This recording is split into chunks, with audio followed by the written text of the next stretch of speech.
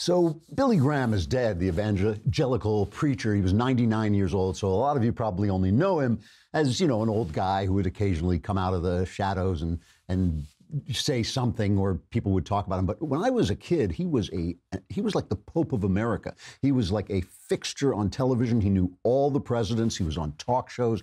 And if he made a comment about the news, it was news. I mean, he was that kind of important uh, person. Now, in my family, which was a family of liberal East Coast Jews, I think we always looked at him as a little bit threatening. He was that part of America that was different from us and maybe excluded us and maybe uh, was not welcoming to us. My father, I wrote about this in my memoir, The Great Good Thing. My father was a GI during World War II, and the news of the Holocaust, the news that six million Jews had been uh, exterminated in this kind of mechanistic way, scarred him for life. It scarred my father for life. He was paranoid.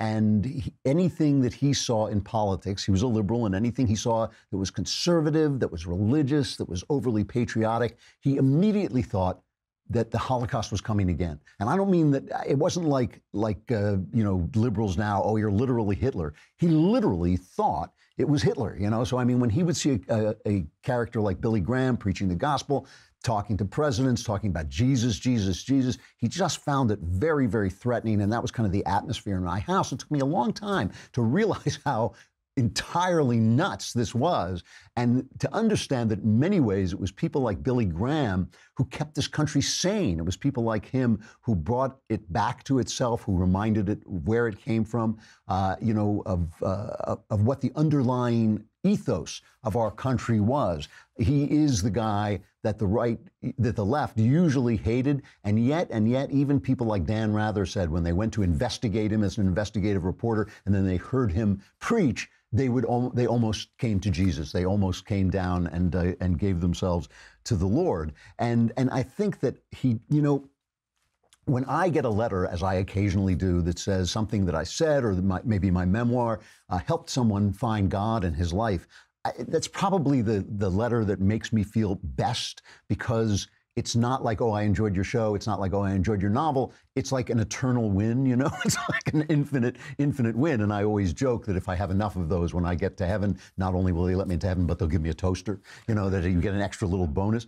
But he did that to thousands upon thousands of thousands of people. I'm going to tell a little bit about that. All week long, we've been talking about what I think are fake crises this gun crisis, this school shooting crisis. It's not that that's not a tragedy. It's not like it's not a terrible thing, but a crisis is something different. A crisis is something that if you don't get on it, if you don't stop it right away, it's going to lead to a disaster. That's what a crisis is. A crisis is something that if you don't turn it around, it's going to lead to a disaster. I do not think guns are a crisis in this country, and I certainly don't think the Russian trolling of our election was a crisis. We've been talking about crisis after crisis that doesn't exist, that is simply a tool that the media, which is the left, is using to take your rights away, to get, gain more power. In the case of the guns, it's to take your God given right to defend yourself away. In the case of the Russians, it's to delegitimize Donald Trump, who they hate. But but there actually is a crisis in this country that's real, and I think the passing of Billy Graham gives us a good reason, a good pretext uh, to talk about that real crisis. Trigger warning I'm Andrew Klavan. This is The Andrew Klavan Show. Life is tickety boo. Birds are winging, also singing hunky dunky doo. Ship shape tipsy topsy, the world is zippity zing. It's a wonderful day, hurrah, hooray! It makes me want to sing. Oh, hurrah, hooray!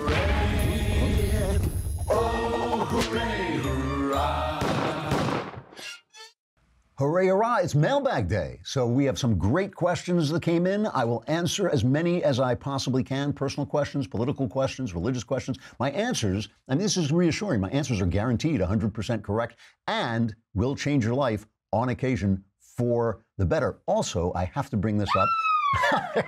Lindsay, boy, Lindsay put a picture of herself on Twitter. Uh, she is about ready to explode. That baby is basically knocking. She's knocking at the door. Um, you know, yesterday, you know, Ben was nice enough to do a little interview with me on Facebook Live, and yesterday the show shot up. It got as high as number 12 on all of iTunes. Now, you, I hope you understand that this creates in you a patriotic duty as a God fearing American to put the show in the top 10. So, you know, get, give it to your friends, tell your friends about it. Make sure you subscribe on SoundCloud or iTunes. Uh, if you have an Android, sell your Android, get an uh, iPhone so you push it up in the uh, iTunes uh, level. If, you know, perhaps you have like an older, elderly parent or relative who's no longer quite uh, conscious, move their hand to you know, morals don't matter. Nothing matters except pushing the show uh, into number 10. Anyway, it's, uh, it was wonderful that Ben did that. If you're a new listener, welcome. And uh, that gives us an opportunity to tell you about tripping.com because tripping.com is the largest uh, rental site. What it is, it's a site where you can find rentals for when you go on vacation. Now, this is a thing we talk about all the time because I'm kind of, I kind of, of a creature of habit. I like to go to a hotel, and my wife sometimes says, you know, why don't we just rent a place? And, you know, I, I, usually say what I say to her, don't make me come over there, woman. No, that's not what I'm, I, am joking. I have to tell my audience I'm joking because they think, oh, is that how I'm supposed to talk to my wife? No, it's not. I always, but I finally listened to her and started, we have on occasion rented a place. And the difference is, if you get a place like that through tripping.com, you don't get a cookie cutter hotel. You have enough room. You can get all kinds of amenities that you can't get at a hotel. A uh, you know a hot tub if you want one, or a uh, you know a stocked, fully stocked kitchen, or free Wi-Fi. All the things that people get if you know that you can get if you rent somebody's uh, place through a place like tripping.com. And tripping.com is the world's number one site for vacation rentals. It's trusted by millions of travelers, featured by the New York Times, Travel and Leisure, Ford, Forbes, and more. And tripping.com can just help you find a great place to stay while you're on vacation. It might be a townhouse, might be a house on the beach. With tripping.com, one search lets you filter, compare, and sort over 10 million available properties on trusted sites like VRBO, TripAdvisor, Booking.com, and more.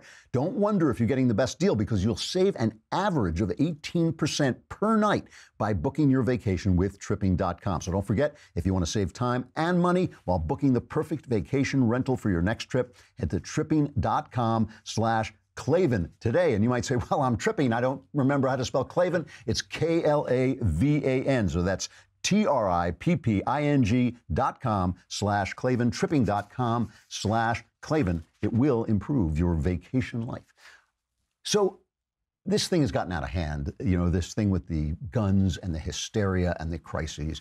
CNN has now crossed over. You know, remember when Donald Trump said that these, these people are the enemy of the people? They're the enemy of the people. They have crossed over into a kind of disgusting craziness.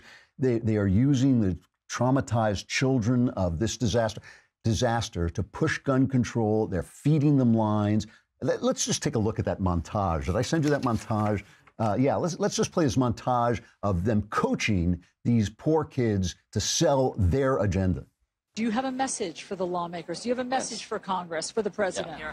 Uh, David, we wanted to have you back because your interview yesterday got a lot of attention with us because you made this personal appeal. I mean, you just looked at the camera and you said to everybody listening, "We're children, you're adults." Figure this out. Children are dying. Did you hear from any leaders? Did you hear from anybody in power after that yesterday? Some people who say there's nothing you can do to stop somebody if they want to mm-hmm. kill. They're going to find a gun no matter the law. Uh, as a 16-year-old student uh, who just went through this in your community with your friends, um, what would you say to the adults? I, I want to read one of the president's tweets from over the weekend. He yeah. wrote, I'm wondering what you think of this tweet and others from the president this week. Look, and we have examples of other countries that have done more and have passed national gun control laws. And guess what? Gun violence went down. Shocking. Um, do you think that you and your friends are going to finally do what it takes to make a difference on this issue?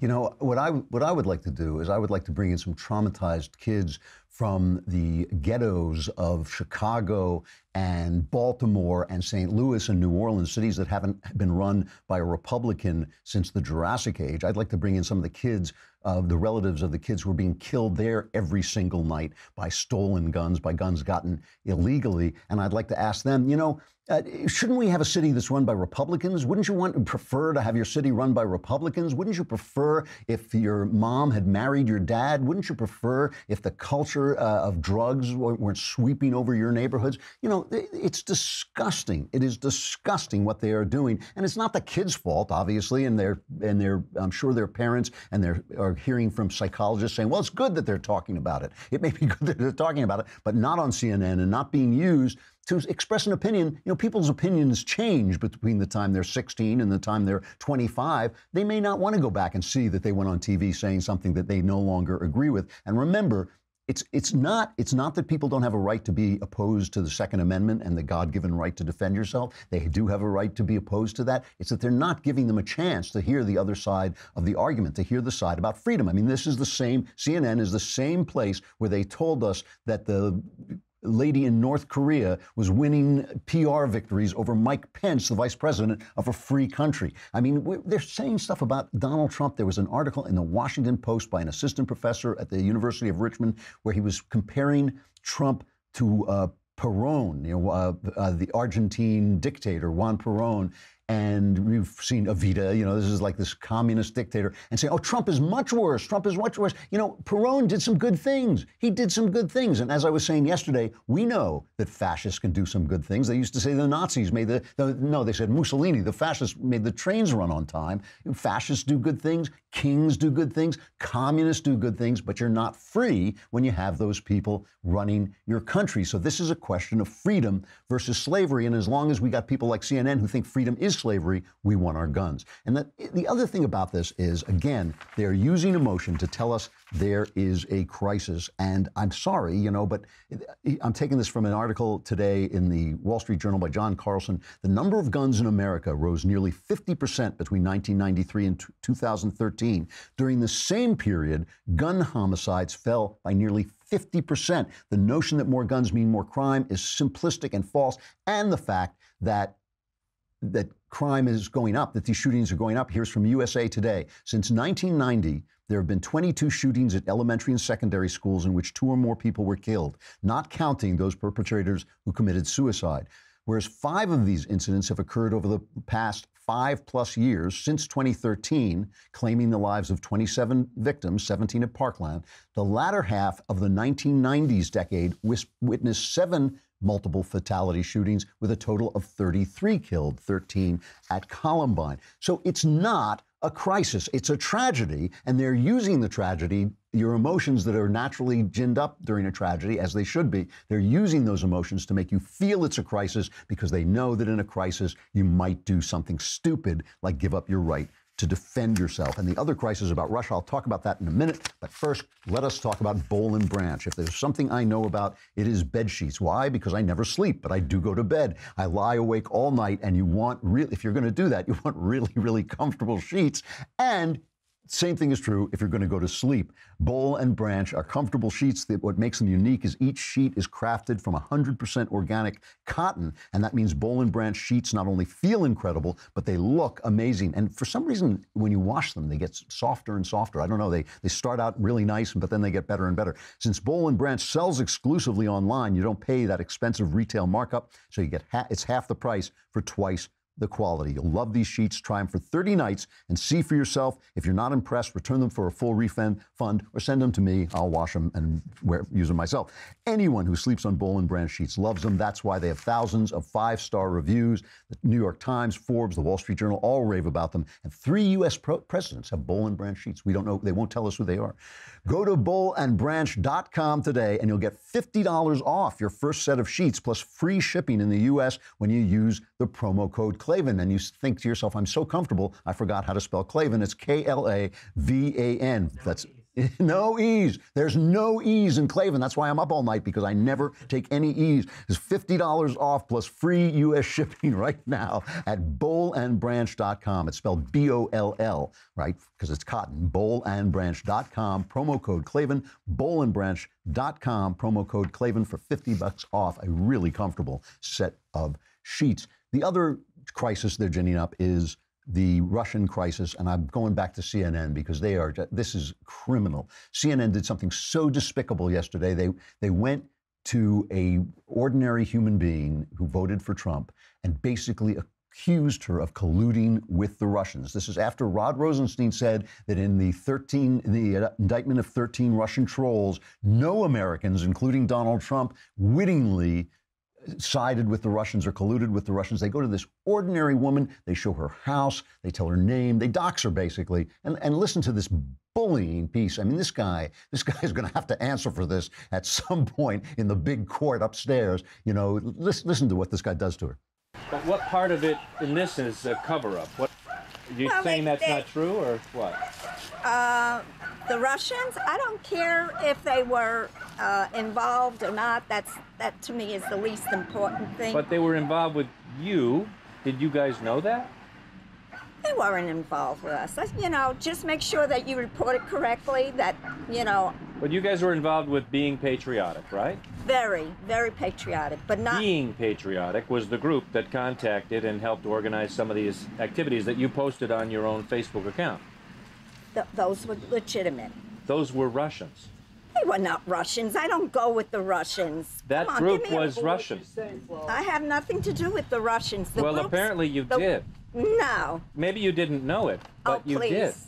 When you're talking like this, I don't want to have anything to do with you. Well, I'm talking what's Those what's people that the were with me were all Trump supporters. Very, very much so. and okay? all apparently following the direction of groups that were associated with Russians who were actually BS. infiltrating. BS. BS. And please, please report that. I don't believe that. That's. I know all the people that were with me. Okay, they were at my meetings. They're all Trump supporters. Okay. Mm-hmm. This guy ought to go home and look in the mirror if he wants to, wants to see what a lowlife looks like. Because yesterday we played CNN covering an anti-Trump rally ginned up by the Russians that the Russians had done, and they were covering it like it was it was a revelation, like it was expressing the will of the people. Why didn't we get this guy's address? You know, John Nolte once said to me, John, you know, Nolte over at Breitbart, the late John Nolte, because he used to be here. He, he- you know, we were having dinner one night, and he said every time every time these guys come out and expose something about an ordinary American, we ought to we ought to have an organization that researches them and finds out who they're sleeping with and finds out what porn they use. You know, because this is a, it's an obscene thing to do, but it's all to tell you that your vote was helping the Russians. That if you voted for Donald Trump, you know, you are a bad guy. So uh, because of the death of Billy Graham, I want to talk about something that has been on my mind for a while. It's about what is a crisis in this country. Because, you know, Steven Pinker, who's a writer that I like, I think he's a psychologist or a psychiatrist, but he, he writes science books. And he, he's got this new piece about the Enlightenment. And I'm going to come back to Pinker. And the reason I want to make it clear that the reason I'm using Pinker is he's an entertaining writer, he's an intelligent man, and I as far as I know in the public sphere, I don't know him privately, but as far as I know in the public sphere, he's a man of goodwill. And I think he's doing things that are wrong, and I'm going to point that out, but I think he's a person of goodwill. And, you know, somebody that I would, I'd love to have him on the show. If We can get him, if we can get him on the show, I'd love to debate him about it. But he, he wrote this piece in the, in the Wall Street Journal, I guess, kind of promoting his new book about the Enlightenment. And he says, things are going great. He says, consider the U.S. just three decades ago, our annual homicide rate was 8.5 per 100,000. That's three decades ago. 11% of us fell below the poverty line as measured by consumption, and we spewed 20 million tons of sulfur dioxide and 34.5 million tons of particulate matter into the atmosphere. That's 30 years ago. Fast forward to the most recent numbers available today, the homicide rate is 5.3, a blip up from 4.4 in 2014. 3% of us fall below the consumption poverty line, and we emit 4 million tons of sulfur dioxide and 20.6 million tons of particulate, despite generating more wealth and driving more miles. And this is, you know, fantastic news. I mean, the, and going around the world, poverty is falling, disease, those horrible plagues that uh, almost wiped out humankind, they are falling. Uh, hunger, all, all, these things are all going away. All the predictions that the, we were going to become overpopulated, they were all overtaken by science.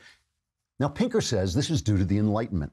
And one of the things that really gets me, uh, not just about Steven Pinker, but it gets me about a lot of these atheist science writers, is they really know their science, but they don't know their history and they don't know their theology. And it, when they start talking, I mean, Pinker writes a whole one of the books he read, uh, he wrote. He writes a whole thing about how the, there's no ghost in the machine.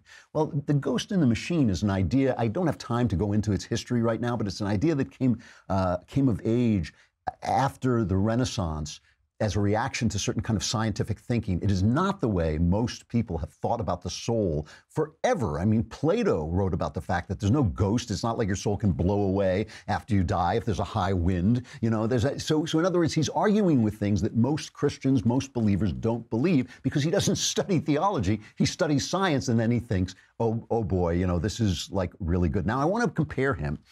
So so he's talking about he.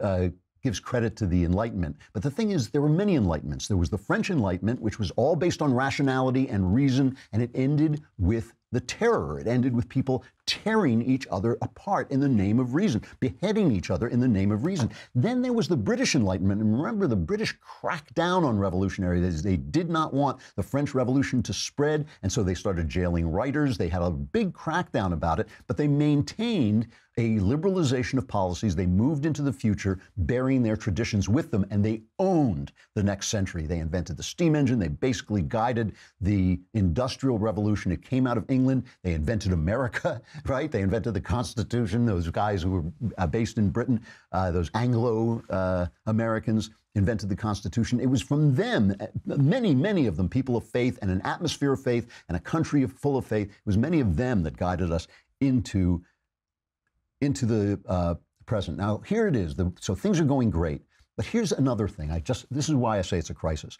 Life expectancy in the U.S. fell for the second year in a row in 2016. Now think about that for a minute. I mean, if that is not a guide to how well things are going scientifically, life expectancy in America fell two years in a row. Now it may be a blip. Two years is not you know a trend, but it's still it's an important statistic. And it, the life expectancy was nudged down by what?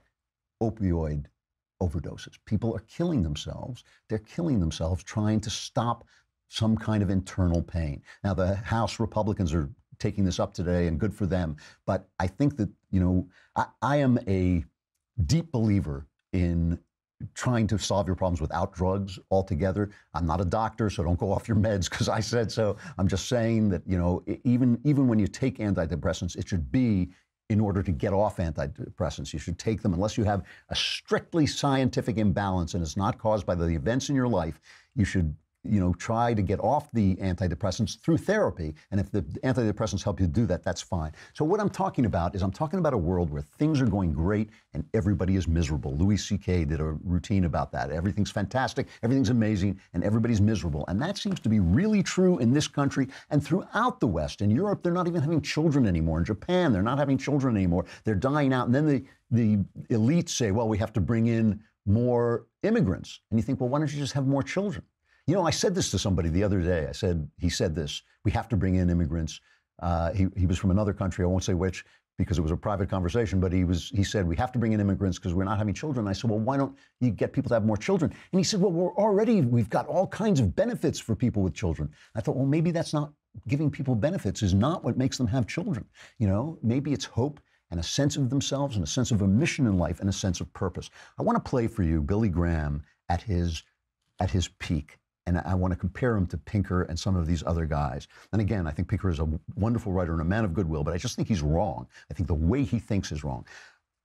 I, read the book Unbroken, wonderful, wonderful book. And if you just saw the movie, you shouldn't go go read the book about Louis Zamperini. He was an Olympic distance runner. He ran in the Jesse Owens Olympic in '36. He shook Hitler's hand afterwards and all this, and he, and he became uh, an American soldier. And he was captured by the Japanese and he was tortured. I mean, the scenes of torture in this book, she writes the book so well that it's not unbearable, but it's horrible. It is horrible. He was tortured beyond the ability of a, a normal human being to imagine. And he came back and he was, of course, he was, of course, broken. The fact that he lived through the things he lived through, just the time he was on the raft before he was rescued by the Japanese, and then the torture he went through afterwards, that anybody could live through this is a testimony to his internal fortitude. But after that, he was broken. He became a drunk. He loved his wife, and one day he woke up with his hands around her throat because he thought he was strangling the guy. He had a dream that he was strangling the guy who tortured him. He was filled with rage. He was unreachable. His wife, even though he loved his wife, he was going to lose her.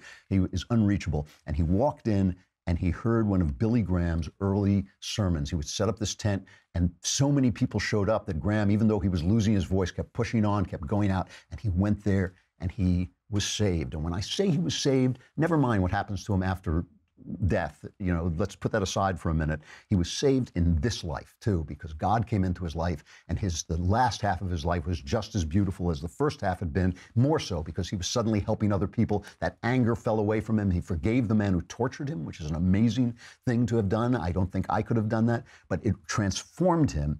You only have to do that once. You only have to do that once, as far as I'm concerned, to get the toaster when you get to heaven. Billy Graham did this tens and tens of thousands of times. I don't know how many times, probably millions of times. Let's just play um, his his the second take, number 13, Billy Graham preaching in his heyday about the fact that the, the truths of the Bible are revealed not to the wise, but to the little children. This cross, this preaching of the gospel of Jesus Christ, the scripture says, is wiser than all the men of all the ages, wiser than all the university professors, wiser than all the intellectuals. It's foolish to the world, but God says this very foolishness is wiser than this world. That's an old-fashioned, you know, uh, fire and brimstone kind of style of preaching. It's kind of gone out of uh, fashion.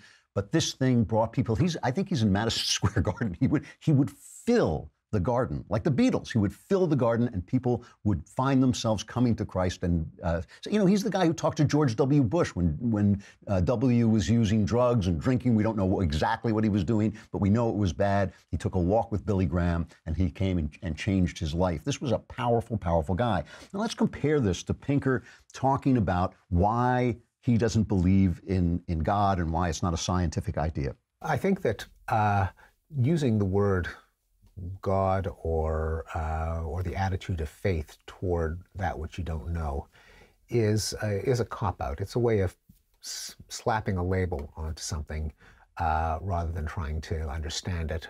Or since we may not not understand everything, uh, just say there's some things we don't understand. Uh, to invent stories uh, that sound as if they were true or could be true, to pretend that they're true just so that we can have a story. I think is is unsatisfying, and it could even be immoral because it could lead you to uh, mistaken policies, to uh, getting in the way of your best understanding of how the world works, um, to doing things that could that lead to more harm than good. I mean, and, and this is a, a, narrative that a lot of these guys, Sam Harris to Chris, uh, Christopher Hitchens, a guy whose prose I just love, sell. And they, the way it works is they compare the best of science with the worst of religion. So they compare uh, you know, a, a, cure for diseases from science, and then they compare a Christian bigot or who goes out and hurts somebody in the name of his religion. If instead they compared the atom bomb to the Christian charity, then they would have a harder argument to make. No science, there is no science for taking the rage out of Louis Zamperini's heart. And the thing, the other thing they talk about is they talk, they'll, they'll point to the brain and they'll say, here's a light that goes off when you experience God, so therefore that's where God lives. And I say, well, here's a light that goes off in your brain when you experience rain. You know, I could touch that and make you experience rain, but you wouldn't get wet because it wouldn't be true. The question is not whether you experience God in your brain. The question is, are you experiencing something real? Now, how do you know that? How do you know that something you experience that's subjective is real? When I first met my wife, I picked her up hitchhiking. She got in my car. I knew exactly that I had found the woman of my dreams. 40 years later, without we've had one argument in 40 years. I, I, I adore her to this day obviously I was right, but I can only know that through lived experience. There's nothing in my brain that they can look at to know that. Over the course of 40 years, I'm sure I felt a million things about my wife, but I've never stopped loving her. So I was right when I saw her. That subjective experience related to something true. When Louis, when the anger and the rage fell from Louis Zamperini's heart, when the uh, tendency to depression fell from my heart, I was experiencing something real that nobody can do. They can give you a, p- a pill that stops you feeling your depression, but they cannot give you a pill that improves your life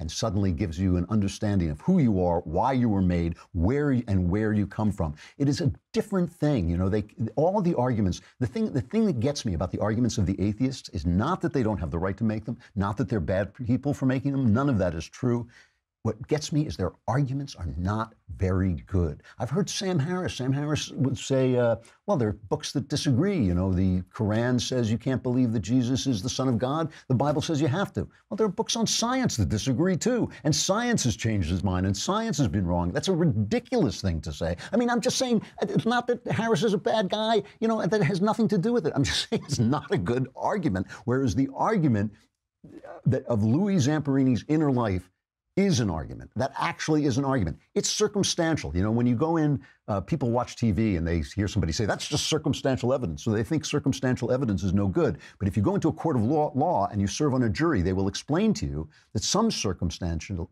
evidence is dispositive, is proof. If you look out the window and there's snow and you walk away and you come back and there are footprints in the snow, somebody walked in the snow. That's circumstantial evidence. The evidence of what God does in people's life is evidence. It lasts over time. It, just like uh, my love for my wife, it lasts over time and it can be experienced. These guys without meaning to, without being bad guys, are contributing to this crisis in America. When you tell people that they're just a bunch of chemicals and they can solve their problems by opiates, they're going to die of opiate overdoses. When you tell them that there's no purpose to their life, that nobody made them, nobody loves them, there's, there's their sense of right and wrong comes is just a kind of random relative idea. You take away from them every single thing they have of value. Everything they have of value. Their house is not valuable. Their love is not valuable. Nothing is valuable if they themselves are not there. If you tell them they have no free will, they have no soul, they have no spirit. These guys, in all the best, with all the best wishes in the world, thinking that they're saving us, are really starting a crisis. And it is what's so what makes it a crisis, I know I always come back to the media, but it's the media's fault.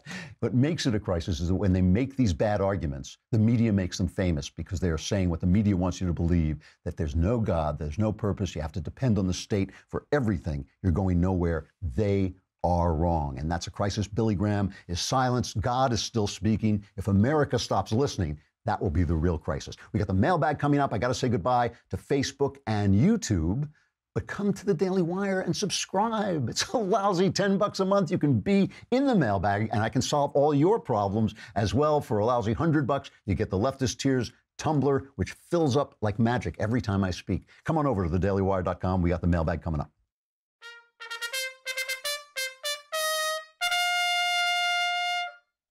All right, mailbag. All right, so we, so we got to get her baby in here to do a, you know, like mailbag, whatever babies say. All right, from James uh, Klavan, from a new subscriber, welcome. Are Republicans afraid to address the national debt because, in order to do so, they would need to make cuts that would make it impossible for them to be reelected? Basically, yes. That's the, you know, that is the thing is, it is the nature of government to get bigger. It is the nature of people to want to be taken care of.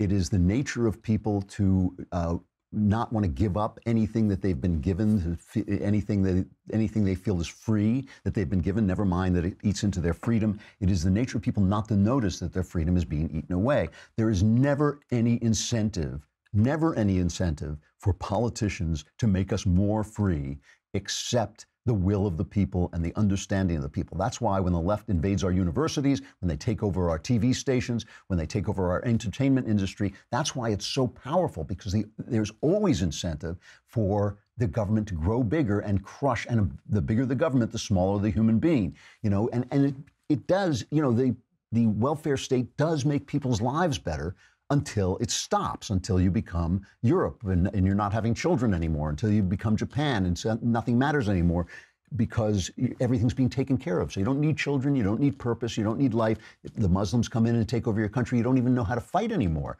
Uh, you don't even know how to stand because they took your guns away. So it is really a, a, matter of philosophy. That is why conservatives are always fighting against the tide. That is why conservatives are always the minority in the Republican Party, and they have to have big voices, loud voices, angry voices to get anything done. It is the nature of government to grow, and so the the debt it goes against these guys' nature. It gives them everything they, every penny they spend buys them votes, buys them power. Why would they cut the debt?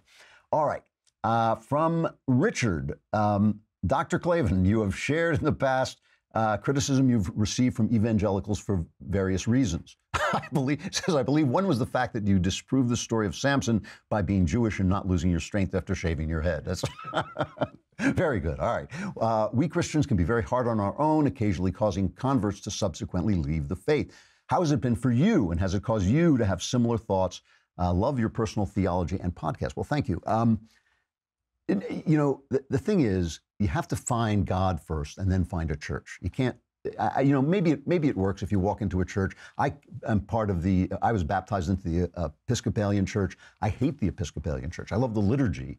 Uh, you know, I have philosophical differences with the Catholics, but I'm basically a Catholic in theology, and I have a I can't join the Catholic Church for a lot of reasons uh, because of some of the things I disagree with, and I don't want to pledge to something that I'm not going to fulfill. But if you find God first, and you find Christ, and you read the Gospels, and you root yourself in the Gospels and in good theology, then the, a church the things that happen in church don't matter as much. So I can go to a church and listen to some liberal sermon, and it just goes right past me because I know that guy. He's not Jesus. He's he's speaking from the pulpit of Christ, but he's abusing that um, that privilege.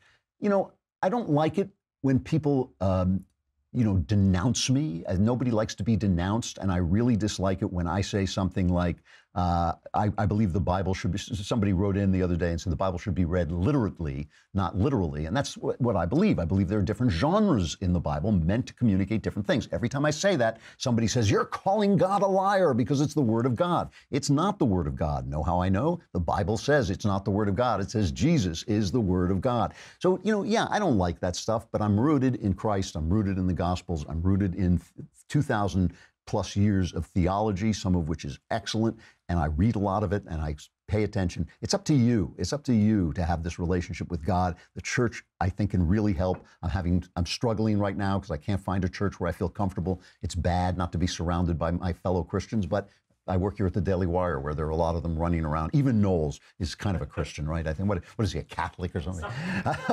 so that's, that's almost a Christian, right? No, I'm joking. I'm joking. Um, but anyway, that's the that's the thing. Find God first, find Christ first, and then the church will fall into place, and the things that people do will kind of roll off your back a little bit. Um, from uh, Benjamin, greetings, Claven Yee, whose intellect rivals that of Socrates. I have a dilemma. My college is having a racial unity day on Monday. The school wants everyone to wear black in solidarity for our school's racial diversity. I really don't want to do it because it seems idiotic and divisive. Should I wear black that day and go against my Christian beliefs and be accepted by society, or not wear black and fear being rejected and chastised by my peers? I, can't tell you what you would do. I would never do it. I would just not do it. I mean, you know, I take the heat because it, it's worth it. And then if you know if they really come down on you, you'll see what they're made of. If they discuss it with you, that will give you a chance to calmly and quietly explain why you're not doing it. So make sure you have that argument ready uh, before you do it. That's just I'm just telling you what I would do. I can't tell you what you should do because there will be a cost for it. So you got to decide whether you want to take that cost. Uh, from Clark, dear Klavan, God of tough guy protagonists, my sister has gotten in a position where she is making romantic and career decisions against her better judgment. I will warn her beforehand. She will do it anyways. And when it inevitably ends horribly as warned, she comes back and my wife and I console her. She agrees with our warning completely before she makes her terrible decisions, but does it anyway. This has been going on for years and I'm at a loss what I can do for her or myself. Thank you. Yeah, I've been in this situation. Probably a lot of you have. Um, here's the thing you got two things you got to do. One is you have to detach. And when I say that, I think. Uh, it's Al Anon, one of those alcoholic places. They say detach with love, you know, loving detachment. When I say detach, it means you have to take yourself out of the equation. Uh, you know, that you, you can't put your happiness, your life, at risk, or you can't tie your happiness and your life to what she does. She obviously is self destructive.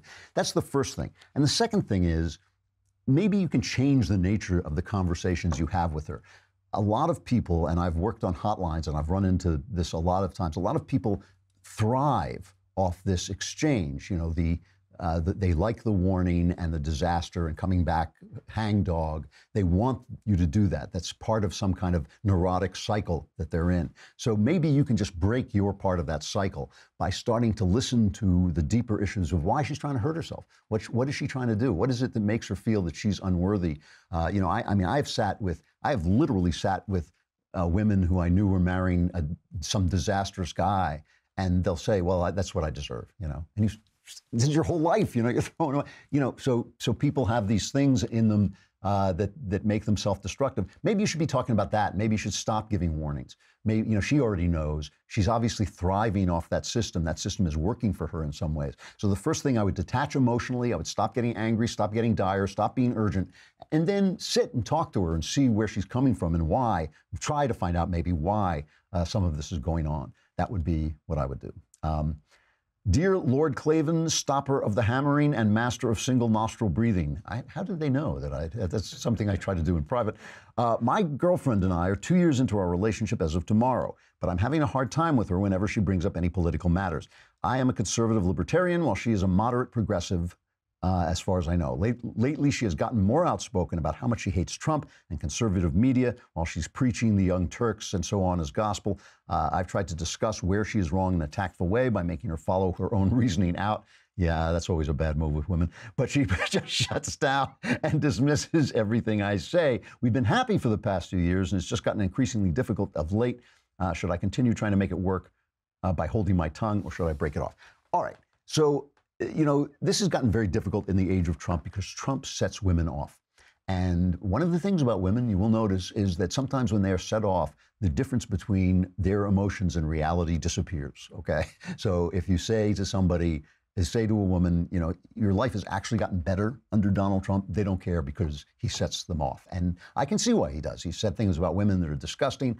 Uh, you know, he's, he's done things. I suspect he's accused of doing things that are are disgusting, uh, and they just feel like, why is this guy being elevated? For some reason, didn't bother as many of them with Clinton uh, or JFK. All of these guys did these things, but some reason Trump is just so open about it and so he lacks the hypocrisy to cover it up. And the press, of course, wants to expose every little thing. And so it ju- just sets them off. So here's the thing the question is are you happy? Are you happy together? Is, is this a, a problem that is just kind of expressing some deeper conflict between you that is making you miserable?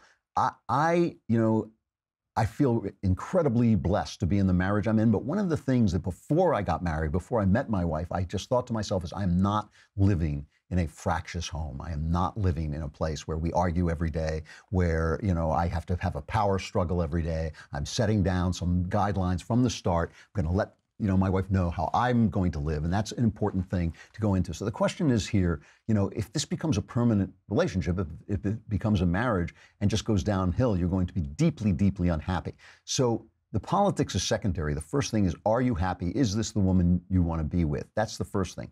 If the answer is no, well, then this problem is solved. You just break it off. If the answer is yes, you do want to stay with her, then you have to find a new way to deal with this. I mean, she is having an emotional experience about Donald Trump. She is having this emotional experience. That's a big deal in women's lives. I think in men's lives, emotional experiences are kind of like, yeah, whatever. You know, that's my emotions. I'm done. You know, but I think in women's lives, emotional experiences are a bigger deal you know, you might want to listen to what she's saying without arguing with her. You might want to uh, just tell her you disagree with her. You might want to just let her vent from time to time. You might want to use opportunities to say what you think is good without making it an argument. You know, uh, back off, basically. Back off and let her have her experience and accept that it's her experience. And that doesn't mean you shut up. That doesn't mean you don't express your opinion. That doesn't mean you let her browbeat you into changing your mind. It simply means that you don't have to argue with her every time she says something that sets you off. Don't let her set you off. But that's if you first you got to decide whether you actually want to be with her. That's just not a question I can uh, I can handle. I'm running out of time, but I'll take one more uh, from the name seems to be Selvier.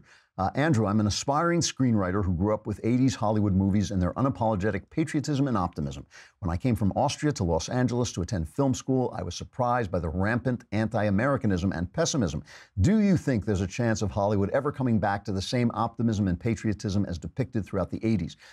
Um, yes and no. I think that there is a chance of Hollywood becoming more diverse if if conservatives start to realize that this is an important vehicle, not just for entertainment, but also for ideas and attitudes. So when conservatives, the problem with Hollywood is yes, do they lock out conservatives? Yes. But do conservatives go and storm the doors and buy the studios and start studios? No. And conservatives are constantly, um, you know, first they make trashy, kind of G rated, positive, rah rah.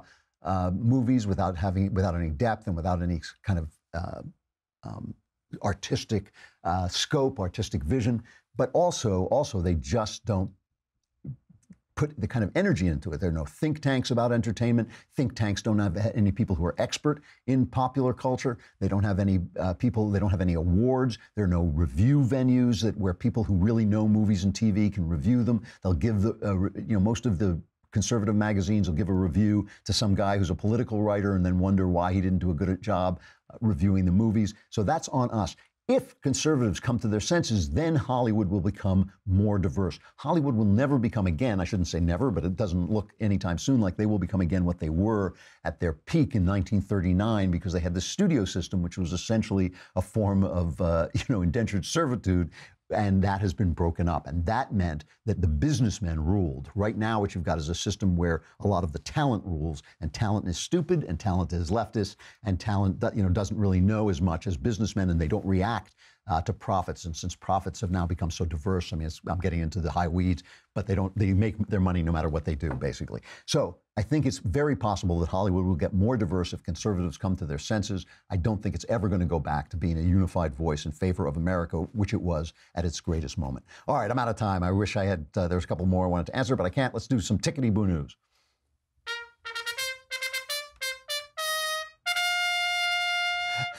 How long is this Daily Mail TV? We have a clip from Daily Mail TV about a woman who is a uh, exorcist in Hollywood. What do they call her? The sister of darkness. And she says she has cast demons out of Oscar winners, politicians, and movie bosses. Let's just watch a little clip from the Daily Mail TV.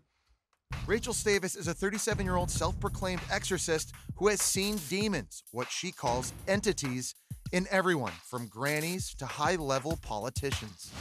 Is Donald Trump possessed? I get asked that all the time. I will say there was entity involved in the election. I stand by that. There's definitely entity involved. At a mutual friend's party, Rachel met and befriended actress Megan Duffy, known for her role in the 2013 film Maniac. She says to me, I don't want to alarm you, but you have an entity that's attached itself to you and it's holding you back from the things that you want in your life. But it took two years of friendship before Megan, who was raised Catholic, let Rachel perform an exorcism on her. There was a tiny bathroom with just a toilet and a sink. I didn't see anyone in there, but I was hearing almost a, a footstep shuffling. At some point, she uh, summoned a spirit, and I had this clicking in my right ear, and then all of a sudden, I had this loud buzzing ringing. It was like, and then when she finished the chant, it stopped. I call this Tickety Boo News because if she actually succeeds in chasing all the demons out of Hollywood, the traffic is going to be so much better here. tomorrow, tomorrow, we've got Sebastian Gorka. I'm going to ask him about Obamagate, one of the biggest scandals of my lifetime. Uh, and we'll, we will talk about that. I'm Andrew Klavan. Remember, in the meantime, it is your job as an American to push the show into the top 10 on iTunes. Don't forget, that is, you lose your citizenship if you don't listen, I think. Isn't that the law? That's right. Yeah, we have to we double check that, but I think that's what it is. I'm Andrew Klavan. This is The Andrew Klavan Show. We will see you again tomorrow.